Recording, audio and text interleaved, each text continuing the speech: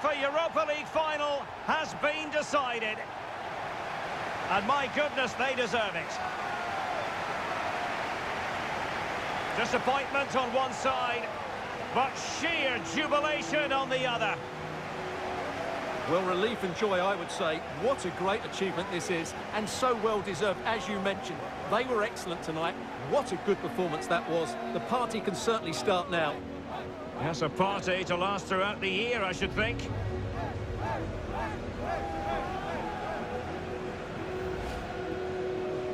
They're very happy to be celebrating good times in the Europa League. And now the trophy awaits them. Well, these are always great moments for any player. This is the culmination of a great tournament they've had. They fully deserve this victory. Every player played his part tonight. This is what they've wanted. Now it's in their possession. The winners of the UEFA Europa League. Well, wonderful scenes. The players are making the most of this. It's been a great competition for them. I think they have every intention of making this last as long as possible. One more trophy left, why not, yes?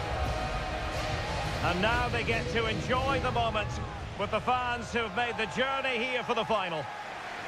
Well, they'll be loving this. They really have backed their team throughout this competition. They have a great bond with the players, don't they? That's lovely to see. Yes, it is all about a shared experience. These celebrations will run long into the night.